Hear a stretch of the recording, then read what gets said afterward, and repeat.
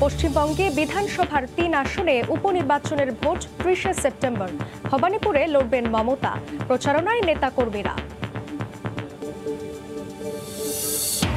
প্রবল বন্যায় নাকাল ভারতের উত্তরপ্রদেশ। গোরখপুরে পরিস্থিতির চরম অবনতি। ভোগান্তিতে সাধারণ মানুষ। বেইজিংয়ে বিশ বছরের মধ্যে সর্বোচ্চ বৃষ্টিপাত। এবং কোনোভাবেই ঠেকানো যাচ্ছে না ইউরোপে অভিবাসন প্রত্যাশীদের ঝল। ইতালি উপকূল থেকে আরও উনিশ জন উদ্ধার, বেশিরভাগই আফ্রিকান।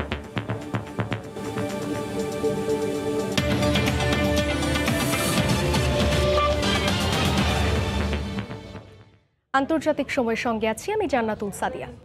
আফগান ইস্যুতে এবার মার্কিন সেনাদের পক্ষে সাফাই গাইলেন দেশটির সেনাপ্রধান। জার্মানিতে মার্কিন সামরিক ঘাঁটি পরিদর্শনে গিয়ে যুক্তরাষ্ট্রের সেনাপ্রধান মার্ক মিলি বলেন, তালেবানের হাত থেকে স্থানীয় আফগান ও বিদেশিদের রক্ষা করে বীরত্বের পরিচয় দিয়েছে মার্কিন সেনাবাহিনী। বিশ্ব শান্তি প্রতিষ্ঠায় কমপক্ষে নয়টি দেশের সেনা ঘাঁটিতে মার্কিন সেনারা দক্ষতার সঙ্গে দায়িত্ব পালন করছে বলেও জানান তিনি। জার্মানির বার্লিন থেকে আরও জানাচ্ছেন বিটু বড়ুয়া। তালেবানের আফগানিস্তান নিয়ন্ত্রণের পর রাতের অন্ধকারে কাবুল বিমানবন্দর ছেড়ে যায় মার্কিন সেনাবাহিনী। দীর্ঘ ২০ বছর তালেবানের সঙ্গে রক্তক্ষয়ী সংঘর্ষের পর এভাবে নিজেদের গুটিয়ে নেয়ার পর বিশ্বজুড়ে শুরু হয় তীব্র সমালোচনা। আফগানিস্তানের হাজার হাজার মানুষকে বিপদের মুখে ঠেলে দিয়ে নিজেদের রক্ষায় এভাবে আফগানিস্তান ছেড়ে যাওয়ায় মার্কিন সেনাদের ভূমিকা নিয়ে শুরু হয় নানা আলোচনা।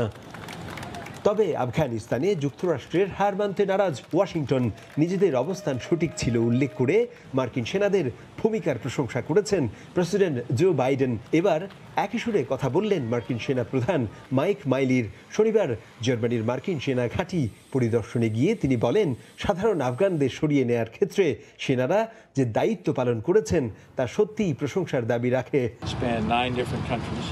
Still going on. We're still processing people. Still 15 or 20,000 here.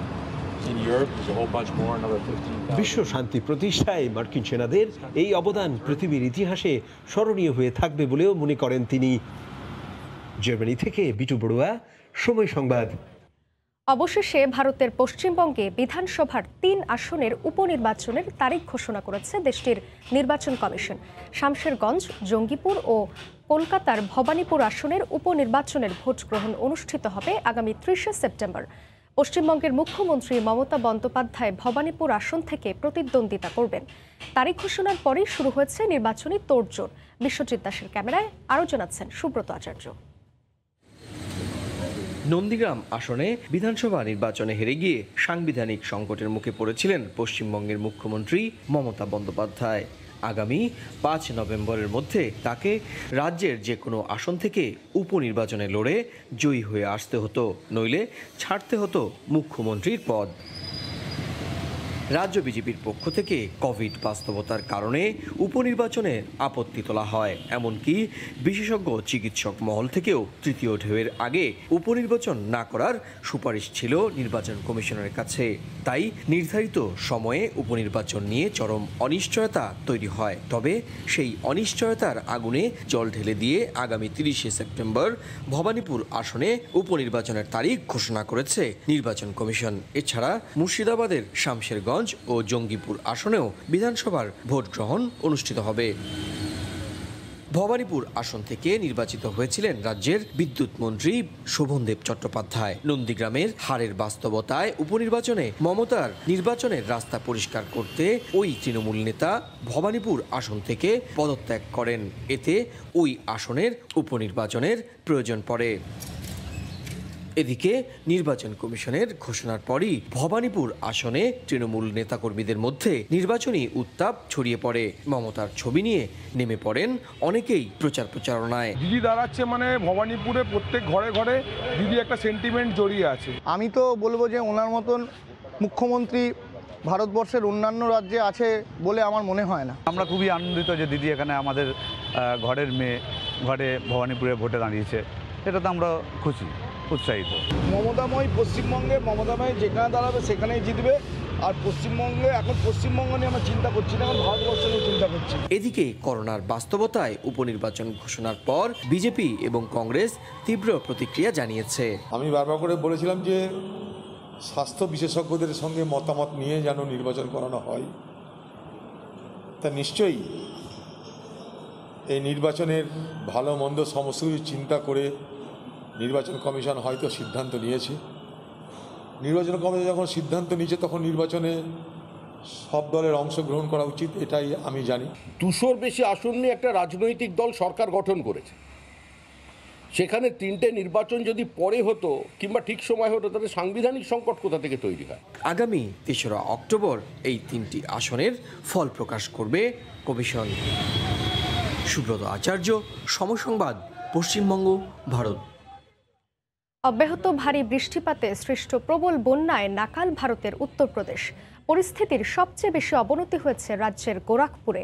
বন্যার পানিতে মহাসড়ক ডুবে যাওয়ায় ব্যাহত হচ্ছে যান চলাচল। এতে চরম ভোগান্তিতে পড়েছেন সাধারণ মানুষ। এদিকে চীনের রাজধানী বেইজিংয়ে গেল বিশ বছরের মধ্যে সর্বোচ্চ বৃষ্টিপাতের রেকর্ড হয়েছে।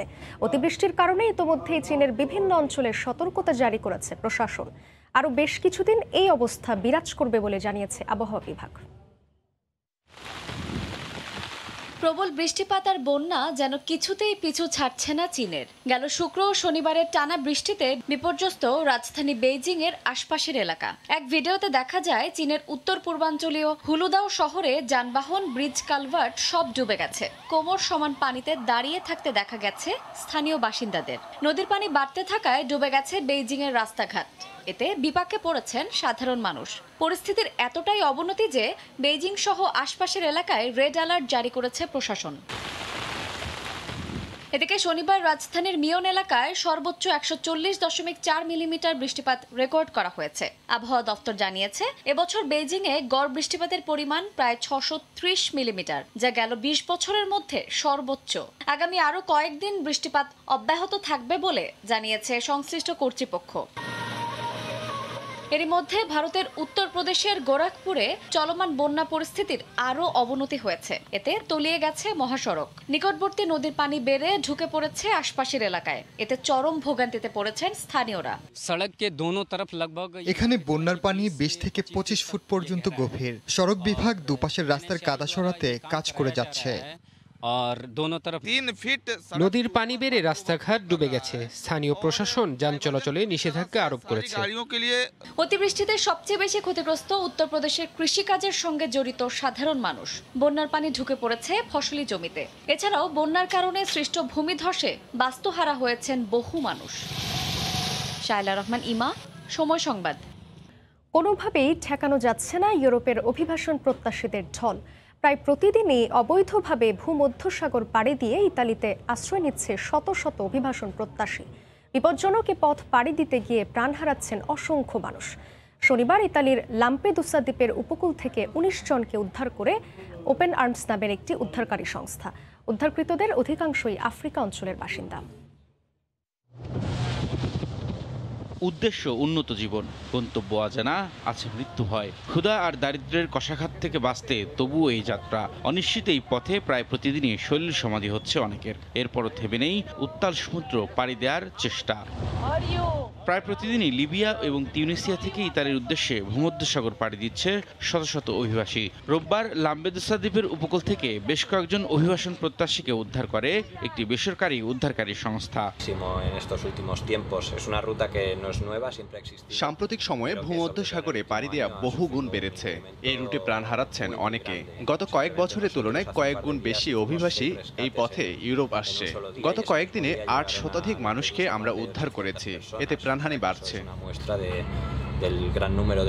এর আগে গত বুধবার সাতটি নৌকা থেকে প্রায় দুইশো অভিবাসন প্রত্যাশীকে উদ্ধার করে ইতালির কোস্টগার্ড জাতিসংঘের তথ্য বলছে চলতি বছরে যুদ্ধ এবং অর্থনৈতিক দুরবস্থার কারণে এগারোশো অভিবাসন প্রত্যাশী ইউরোপে আশ্রয় নিয়েছে যাদের অধিকাংশই মধ্যপ্রাচ্য এবং আফ্রিকা অঞ্চলের বাসিন্দা।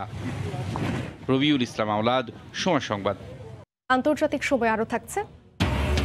ইতিহাস, ঐতিহ্য আর বিখ্যাত শিল্পকর্মের কারণে পর্যটকদের আকর্ষণের কেন্দ্রবিন্দু স্পেনের ভায়াদোলিদ নান্দনিক স্থাপনা আর চিত্রকর্মে মুগ্ধ দর্শনার্থীরা। আয়ারল্যান্ডে মাধ্যমিক সমমানের লিভিং সার্টিফিকেট পরীক্ষায় অভাবনীয় সাফল্য পেয়েছেন প্রবাসী বাংলাদেশি শিক্ষার্থীরা। এতে উচ্ছ্বসিত অভিভাবকরা। আয়ারল্যান্ড থেকে সেই সাফল্যের কথা জানাচ্ছেন সৈয়দ জুয়েল। আয়ারল্যান্ডের শিক্ষা ব্যবস্থা একটু অন্যরকম বাংলাদেশের সেকেন্ডারি স্কুল সার্টিফিকেট বা মাধ্যমিক পরীক্ষার মানের সাথে এখানের লিভিং সার্টিফিকেট পরীক্ষার অনেকটা মূল্যায়ন করা হয়ে থাকে। এই ফলাফলের উপরে নির্ভর করে শিক্ষার্থীদের ভালো কলেজগুলোয় আসন পাওয়া। গেল শুক্রবার সেই লিভিং সার্টিফিকেট পরীক্ষার ফলাফল প্রকাশ হয়, যাতে অধিকাংশ বাংলাদেশি শিক্ষার্থীরা ঈর্ষণীয় সাফল্য পেয়েছে। সাফল্যের ধারা অব্যাহত রাখতে চান বাংলাদেশি ছেলেমেয়েরা। বিদেশের মাটিতে দেশের জন্য সম্মান বয়ে আনতে চান তারা। আমি পার্সোনালি অনেক স্যাটিসফাইড আমার রেজাল্টস নিয়ে। ইনশাল্লাহ আগামী দিনে I hope to make my parents and my country more proud সবার কাছে দোয়া চাই। ছেলে মেয়েদের এ সাফল্যে অভিভাবকরাও অভিভূত। আগামী দিনে এ ধারা অব্যাহত রেখে বাংলাদেশি কমিউনিটি হবে আরও শক্তিশালী এমন প্রত্যাশা তাদের। বিদেশের মাটিতে আমাদের সন্তানেরা ভালো ফলাফল করাতে আমরা অনেক আনন্দিত। ভবিষ্যতে ওরা আরও ভালো ফলাফল করবে এবং দেশের ও আমাদের ভাবমূর্তি উজ্জ্বল করবে এটাই প্রত্যাশা করি। প্যান্ডামিকের এই সময়ে সকলের জন্য একটু ডিফিকাল্ট ছিল পরীক্ষার অংশগ্রহণ করা। তারপরও তোমরা যারা অংশগ্রহণ করেছ, সবাই এই ক্রেডিট পাওয়ার যোগ্য। আয়ারল্যান্ডে এবারে লিভিং পরীক্ষায় সাতান্ন হাজার তিনশো বাহান্ন জন শিক্ষার্থী অংশ নিয়েছিল। গত বছরের তুলনায় এবারে পরীক্ষায় দুই দশমিক ছয় শতাংশ বেশি শিক্ষার্থী ভালো ফল করেছে। সৈয়দ জুয়েল, সময় সংবাদ, আয়ারল্যান্ড। জলবায়ু পরিবর্তন, আবাসস্থল হারানো, অতিরিক্ত মাছ ধরা সহ নানা কারণে হুমকির মুখে সামুদ্রিক প্রাণীর অস্তিত্ব। আন্তর্জাতিক পরিবেশ সংরক্ষণ সংস্থা আইইউসিএন সম্প্রতি নতুন তালিকা প্রকাশ করেছে, যেখানে পৃথিবীর সবচেয়ে বড় সরীসৃপ কোমোটো ড্রাগন ও হাঙরকে বিপন্ন প্রাণী হিসেবে তালিকাভুক্ত করা হয়েছে। এদিকে দীর্ঘ এক যুগের চেষ্টার পর সমুদ্রে টুনা মাছের সংখ্যা বাড়ায় স্বস্তিতে ব্যবসায়ীরা। প্রকৃতির শোধ বড়ই নির্মম। পৃথিবীর অন্যতম শক্তিধর প্রাণী ড্রাগন বিলুপ্ত হয়ে গেলেও রয়ে গেছে তার উত্তরসূরি কোমোডো ড্রাগন। কিন্তু আজ সেটিও বিলুপ্তির পথে। শুধু কোমোডো ড্রাগন নয়, বিলুপ্ত হতে চলেছে সাগরতলের রাজা হাঙরও আন্তর্জাতিক গণমাধ্যম জানিয়েছে, দীর্ঘ এক যুগের চেষ্টায় টুনা মাছ বিলুপ্তির পথ থেকে ফিরে আসলেও বিপন্ন হতে চলেছে হাঙর ও পৃথিবীর সবচেয়ে বড় সরীসৃপ কোমোডো ড্রাগন। এসব সামুদ্রিক প্রাণী বিলুপ্তির কারণ হিসেবে বৈশ্বিক উষ্ণায়ন, সমুদ্রের পানির উচ্চতা বৃদ্ধি ও আবাসস্থল ধ্বংস হওয়াকেই দায়ী করছেন গবেষকরা। এদিকে সাম্প্রতিক এক গবেষণায় বাণিজ্যিক মাছ টুনার চারটি প্রজাতিকে বিপন্ন প্রজাতির তালিকা থেকে বাদ দেওয়া হয়েছে। টুনা মাছ সংরক্ষণে প্রায় এক যুগের চেষ্টা সফল হওয়ায় স্বস্তি প্রকাশ করেছেন সংশ্লিষ্টরা। টুনা মাছের খবর নিঃসন্দেহে খুব খুশির তবে হাঙর ও কমোডো ড্রাগনের অস্তিত্ব চরম সংকটে। এরা যে কোনো সময় বিলুপ্ত হয়ে যেতে পারে। সামুদ্রিক প্রাণীগুলো পানির নিচে থাকায় তাদের উপর পরিবেশ বিপর্যয়ের প্রভাব সাধারণ মানুষের চোখে পড়ে না। Within the legal frameworks, work with the fisheries industries. বৈশ্বিক জলবায়ু পরিবর্তন এবং গভীর সমুদ্রে বিভিন্ন খনির উপস্থিতিতে সামুদ্রিক শৈবাল শামুক মাছ সহ অন্যান্য প্রাণীর জীবন কীভাবে প্রভাবিত হয় তা নিয়ে দীর্ঘদিন ধরেই গবেষণা চালিয়ে আসছে আইইউসিএন। চোদ্দ হাজার সামুদ্রিক প্রজাতির মধ্যে প্রায় দুই শতাংশ এখন চিরতরে বিলীন হওয়ার ঝুঁকিতে রয়েছে বলে হুঁশিয়ার করেছেন তারা। শায়লা রহমান ইমা সময় সংবাদ। পরিবেশের সুরক্ষা দিতে ব্যর্থ হলে ভক্স ওয়াগন বিএমডব্লিউ মার্সিডিজ বেঞ্চের বিরুদ্ধে মামলা করার কথা জানিয়েছে পরিবেশবাদী সংস্থা গ্রিনপিস ও ডয়চে উম ওয়েলথ হেলথ জার্মানির তেল, গ্যাস উত্তোলনকারী প্রতিষ্ঠান উইন্টার শেল দেয়ার বিরুদ্ধেও একই পথ অনুসরণ করবেন তারা। শুক্রবার সংস্থা দুটি ঘোষণা করেছে, জনস্বার্থে এই ইস্যুতে জনপ্রতিনিধিরা এগিয়ে না আসায় তারা আইনি পথে হাঁটার সিদ্ধান্ত নিয়েছেন।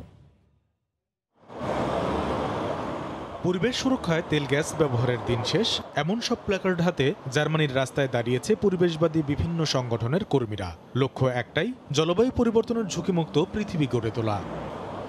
এরই মধ্যে জলবায়ুর ঝুঁকি মোকাবিলায় উপযুক্ত কর্ম পরিকল্পনা নিতে ব্যর্থ হলে জার্মান গাড়ি নির্মাতা প্রতিষ্ঠান ভক্সওয়াগন বিএমডব্লিউ মার্সিডিস বেঞ্জ ও দেশটির তেল গ্যাস উত্তোলনকারী প্রতিষ্ঠান উইন্টার শেল দেয়ার বিরুদ্ধে মামলা করার ঘোষণা দিয়েছে পরিবেশবাদী সংস্থা গ্রিনপিস ও ডয়েসে উমোয়েল্ট হিলফ। আমরা বর্তমানে জলবায়ু ঝুঁকির মাঝামাঝি পর্যায়ে রয়েছি। এটা আমাদের জন্য বড় ধরনের হুমকির কারণ। অতি বন্যা উষ্ণতা বৃদ্ধি রোধে সরকারের তরফ থেকেও খুব দ্রুত ও শক্ত পদক্ষেপ নেওয়া উচিত। ব্যাপক পরিসরে গ্রিনহাউস গ্যাস নিঃসরণকারীদের বিরুদ্ধে ব্যবস্থা নেওয়ার খুবই উপযুক্ত সময় এটা। আমরা আসলে তাই করতে যাচ্ছি। গত বছর নেদারল্যান্ডের রয়্যাল ডাচ শেলের বিরুদ্ধে যেভাবে মামলা করা হয়েছিল সেই একই পথ অনুসরণ করে এবার এসব প্রতিষ্ঠানের বিরুদ্ধে আইনি ব্যবস্থা নেওয়া হবে। বাণিজ্যিক প্রতিষ্ঠানগুলো জলবায়ুকে ঝুঁকিতে ফেলে শত শত কোটি ইউরো কামিয়েছে। এজন্য তাদের দায় নেওয়া উচিত। কিন্তু তারা তা নেয়নি। জনপ্রতিনিধিরাও তাদের উপর কোনো চাপ দেয়নি। তাই আমরা আইনি পথে হাঁটা শুরু করেছি। গত মে মাসে জার্মানির আদালত নির্দেশ দিয়েছিলেন দুই হাজার উনিশ সালে এসব বাণিজ্যিক প্রতিষ্ঠান যে পরিমাণ কার্বন ডাই অক্সাইড নিঃসরণ করেছে, দুই হাজার ত্রিশ সালের মধ্যে নিঃসরণ পঁয়তাল্লিশ শতাংশ কমিয়ে আনতে হবে। মামলা করার সময় ওই নির্দেশনাকে আমলে রাখা হবে। কামরুল হাসান, সবুজ, সময় সংবাদ। ভারতের শিলিগুড়ি থেকে বিরল প্রজাতির পঞ্চান্নটি টিয়া পাখি সহ দুইজনকে আটক করেছে পুলিশ। মানুষের মতো কথা বলা এই টিয়া পাখিগুলো পশ্চিমবঙ্গের সাফারি পার্কে পাচারের কথা ছিল। মানুষের কথা অনুকরণ করতে পারে এমন প্রজাতির টিয়া পাখি এগুলো। সারুগারা বনভূমি থেকে সংগ্রহ করে এই ধরনের পঞ্চান্নটি টিয়া তিনটি খাঁচায় করে মোটরসাইকেলে চড়ে পাচারের উদ্দেশ্যে ভারতের মালবাজার থেকে পূর্ব বিহারের দিকে যাচ্ছিল পাচারকারীরা। এ সময় তাদেরকে আটক করা হয়। খাঁচায় বিরল প্রজাতির পঞ্চান্নটি টিয়া ছিল। এর মধ্যে কথা বলা এবং লাল বুকওয়ালা টিয়াও ছিল। আমরা দুইজনকে গ্রেফতার করেছি। আসামিদের আদালতে হাজির করা হয়েছে। তারা জানায় পাখিগুলোকে পশ্চিমবঙ্গের সাফারি পার্কে পাচারের কথা ছিল। উনিশশো বিরানব্বই সালের বন্যপ্রাণী সংরক্ষণ আইনের অধীনে তাদের বিচার করা হবে বলে জানায় বন বিভাগ কর্তৃপক্ষ। জিনিয়া শেখ সময় সংবাদ। বাংলাদেশ ও ভারতীয় দূতাবাসের যৌথ উদ্যোগে পর্তুগালে হয়ে গেল কালার্স অফ ইন্ডিপেন্ডেন্স শীর্ষক এক অনু- অনন্য অনুষ্ঠান। বাংলাদেশের পঞ্চাশ এবং ভারতের স্বাধীনতার পঁচাত্তর বছর উপলক্ষে আয়োজিত অনুষ্ঠানে ছিল নাচ, গান সহ দু দেশের নানা পরিবেশনা। তুলে ধরা হয় দুদেশের স্বাধীনতা ও স্বাধীনতা পরবর্তী সময়ের গৌরবময় ইতিহাস। লিসবন থেকে তারিকুল হাসান আশিকের রিপোর্ট। শনিবার বিকেলে এভাবেই বাংলা গান বা নাচে মুখরিত ছিল পর্তুগালের রাজধানী লিসবনের লুসুফোনা বিশ্ববিদ্যালয় মিলনায়তন। বাংলাদেশের ব্যান্ড দলের সংগীত পরিবেশনার পাশাপাশি ছিল মনোমুগ্ধকর নানা পরিবেশনা। বাংলাদেশি শিল্পীদের পাশাপাশি সাংস্কৃতিক পরিবেশনায় অংশ নেন ভারতীয় শিল্পীরা। অনুষ্ঠান দারুণ উপভোগ করেন আমন্ত্রিত অতিথিরা। আমি আমার ফ্রেন্ডের সাথে এসেছি যখন শুনেছি যে এখানে প্রোগ্রাম হচ্ছে বাংলাদেশ, ইন্ডিয়া একসাথে। তো প্রথমে আসার পরে মানে এসছি লিসবন ঘোরার জন্য বাট এখানে আসার পর এত ভালো লাগছে, মনে হচ্ছে দেশের বাইরে আরেকটা দেশ তো খুবই ভালো লেগেছে খুবই এনজয় করেছি। আসলে এটা আমাদের জন্য খুবই একটা গর্বের বিষয় যে দেশের বাইরে বিদেশের মাটিতে নিজেদের দেশকে রিপ্রেজেন্ট করা। Actually, I was not so much aware about Bangladesh thing, but now I know, and I have my best friend as a Bangladesh, so I enjoyed a lot. পর্তুগালের করোনা পরিস্থিতি অনেকটাই স্বাভাবিক হওয়ায় স্বাধীনতার সুবর্ণ জয়ন্তী উপলক্ষেই এমন আয়োজন বলছেন পর্তুগালে নিযুক্ত বাংলাদেশের রাষ্ট্রদূত। স্বাধীনতা সময় এখন আমরা পার করছি আগামী ষোলোই ডিসেম্বর পর্যন্ত এটি চলবে। আমাদের ইচ্ছা আছে যে এই আগামী বিজয় দিবস ষোলোই ডিসেম্বর আমরা একটু বড় আকারে করব। এর আগে বাংলাদেশ ও ভারতের উপর নির্মিত প্রামাণ্য চিত্র প্রদর্শন করা হয়। তারিকুল হাসান আশিক সময় সংবাদ লিসবন পর্তুগাল। ইতিহাস ঐতিহ্যে সমৃদ্ধ স্পেনের ভায়াদোলিদ প্রদেশ। বিভিন্ন শিল্প, সংস্কৃতি, শিক্ষা প্রতিষ্ঠান, ক্যাথেড্রাল ও নামি দামি শিল্পীদের চিত্রকর্ম থাকায় এটি স্পেনের অন্যান্য প্রদেশের চেয়ে অনেকটাই ভিন্ন। ভায়াদোলিদ ঘুরে এসে স্পেন প্রতিনিধি সাইফুল আমিনের তথ্য ও ছবিতে রিপোর্ট। তেইশটি পৌরসভা নিয়ে গঠিত এটি স্পেনের বিশতম মেট্রোপলিটন এলাকা, যার প্রাদেশিক রাজধানী ভায়াদোলিদ এখানে প্রায় চার লাখ মানুষের বাস।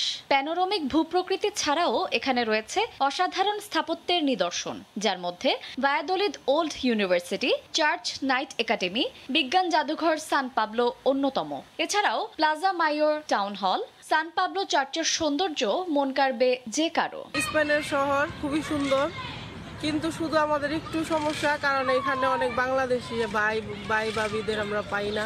বাংলাদেশকে আমরা মিক্স করি। এখানে যারা অল্প কিছু সংখ্যক বাঙালি আছেন যারা মোটামুটি তাদের ব্যবসা বাণিজ্য নিয়ে ব্যস্ত। খ্রিস্টপূর্ব ষোলোশো শতকের দিকে এটি স্পেন সাম্রাজ্যের রাজধানী ছিল। শহরটিতে বর্তমানে অন্যান্য দেশ বা জাতিগোষ্ঠীর পাশাপাশি বাংলাদেশিরাও বসবাস করছেন যারা বিভিন্ন পেশা বা ব্যবসা বাণিজ্য করে অর্থনৈতিকভাবে বেশ ভালো আছেন। বারো বছরের মধ্যে আছি এখানে ব্যবসা বাণিজ্য করি। ভালোই আছি শান্তিতেই আছি আলহামদুলিল্লাহ। সব কিছুর মাঝেও আমার মধ্যে একটা অপূর্ণতা। আমার ব্যবসা বাণিজ্য হোক আমার সব সাইড মিলে আমি খুবই ভালো আছি। প্রাকৃতিক সৌন্দর্যে ভরপুর ভায়াদলিত শহরটিতে ধীরে ধীরে বাংলাদেশিদের সংখ্যা বাড়ছে। ব্যবসা বাণিজ্য ও কর্মক্ষেত্রে সেখানে উজ্জ্বল সম্ভাবনা দেখছেন প্রবাসী বাংলাদেশিরা। সময় সংবাদ স্পেন। যুক্তরাষ্ট্রের ক্যালিফোর্নিয়ায় উদ্বোধন হলো Sheikh Kamal trophy cricket tournament. T twenty ফরম্যাটের এই আন্তর্লিগে অংশ নিয়েছে যুক্তরাষ্ট্রের বিভিন্ন অঙ্গরাজ্যের বারোটি দল। ক্যালিফোর্নিয়া থেকে লস্কর আল মামুনের রিপোর্টে বিস্তারিত। বঙ্গবন্ধু শেখ মুজিবুর রহমানের জ্যেষ্ঠ পুত্র শেখ কামালকে বিশ্বময় তুলে ধরতে যুক্তরাষ্ট্রের ক্যালিফোর্নিয়ায় ক্রিকেট টুর্নামেন্টের নামকরণ করা হয়েছে শেখ কামাল ট্রফি। ক্যালিফোর্নিয়ার উডলি ক্রিকেট মাঠে শেখ কামাল ট্রফি ক্রিকেট টুর্নামেন্টের চতুর্থ এ আসরের উদ্বোধনী অনুষ্ঠান ও লিগ পর্বের খেলা অনুষ্ঠিত হয়। লস অ্যাঞ্জেলেস বাংলাদেশ কনসুলেটের কনসাল জেনারেল তারেক মোহাম্মদ এই টুর্নামেন্টের উদ্বোধন করেন। উদ্বোধনী অনুষ্ঠানে বাংলাদেশ ক্রিকেট বোর্ডের পরিচালক আহমেদ সাজ্জাদুল আলম ববি টুর্নামেন্টের প্রধান সমন্বয়ক doctor Rabi Alam Southern California cricket অ্যাসোসিয়েশনের পরিচালক সাবেক cricketer Nazim Siraji Southern California cricket অ্যাসোসিয়েশনের সভাপতি প্রদীপ প্যাটেল টুর্নামেন্টের বিভিন্ন বিষয় নিয়ে কথা বলেন popularize cricket in the United States of America. Sheikh Kamal trophy fifth year of the tournament এটা শুরু হয়েছিল as in the western region এখন এটা ন্যাশনাল চ্যাম্পিয়নশিপ যে স্বপ্ন দেখেছেন সেই স্বপ্ন আজকে আমাদের বাস্তবত বাস্তবায়িত হতে চলেছে। আরও কাজ বাকি আছে। আমরা সার্টেন যে একটা সময় গিয়ে যে তার লোক অভিষ্ট লক্ষ্য যে সেই লক্ষ্যে আমরা পৌঁছাতে সম্ভব হব। আন্তর্জাতিক পর্যায়ে শেখ কামাল টুর্নামেন্টকে আরও ফুটিয়ে তোলার জন্য বিদেশের মাটিতে তথা ইউএসএ আমরা এই টুর্নামেন্টটা করছি। সাউদার্ন ক্যালিফোর্নিয়া ক্রিকেট অ্যাসোসিয়েশন আয়োজিত এই টুর্নামেন্টে বিভিন্ন অঙ্গরাজ্যের বারোটি দল অংশ নিচ্ছে। সোমবার ফাইনাল শেষে বিজয়ী দলের হাতে পুরস্কার তুলে দেবেন যুক্তরাষ্ট্রে নিযুক্ত বাংলাদেশের রাষ্ট্রদূত এম শহীদুল ইসলাম। উদ্বোধনী খেলায় টেক্সাসের হিউস্টন ক্রিকেট লিগ স্থানীয় সাউদার্ন ক্যালিফোর্নিয়া ক্রিকেট অ্যাসোসিয়েশনকে পাঁচ উইকেটে হারিয়েছে। নিজ দেশের সবুজ গালিচায় যখন ক্রিকেটে বাংলাদেশের জয় জয়কার, ঠিক সেই মুহূর্তে যুক্তরাষ্ট্রের মাটিতে ক্রিকেটের এই আয়োজন নিঃসন্দেহে ক্রিকেট প্রেমীদের এনে দিয়েছে এক অনন্য উদ্দীপনা।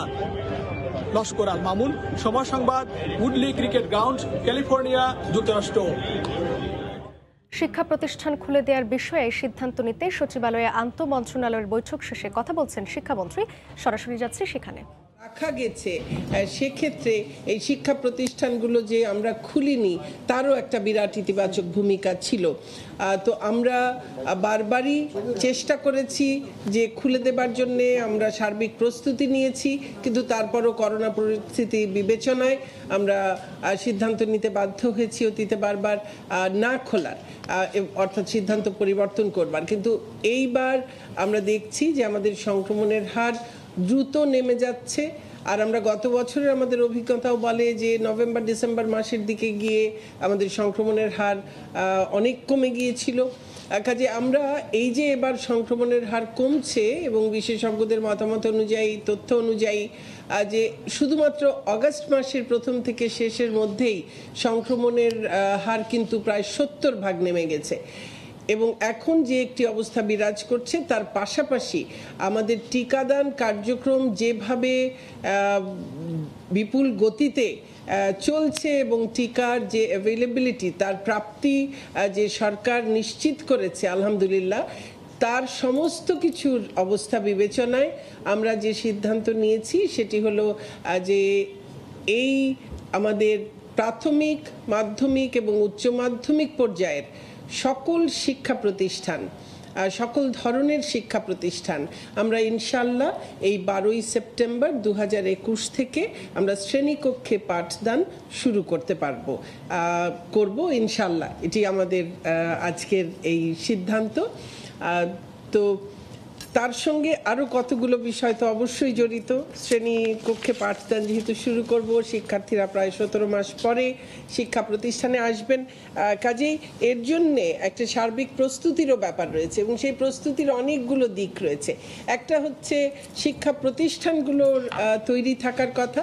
সেটি তো আমরা তৈরি করছি এবং তৈরি অবস্থায় তারা আছে। যেখানে যেখানে ছোটোখাটো কিছু প্রস্তুতির ব্যাপার আছে, সেটাও এই আগামী নয় তারিখের আগেই সব সম্পন্ন হয়ে যাবে। অর্থাৎ নয় তারিখে আমাদের একেবারে তৃণমূল পর্যায়ে, মাঠ পর্যায়ে আমাদের কর্মকর্তাগণ, তারা প্রতিটি শিক্ষা প্রতিষ্ঠান সেটি তারা দেখবেন যে একদম প্রতিষ্ঠানে, শিক্ষা প্রতিষ্ঠানে পাঠদান শুরু করবার, শ্রেণীকক্ষে পাঠদান শুরু করবার জন্য সম্পূর্ণ তৈরি আছে, এ বিষয়টি তারা নিশ্চিত করবেন।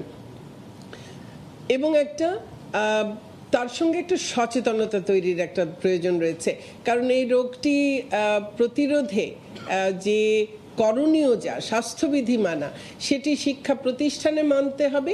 সেটি শিক্ষা প্রতিষ্ঠানে যে শিক্ষক, শিক্ষার্থী, কর্মচারী, তারা যে আসবেন, তাদেরও মানতে হবে।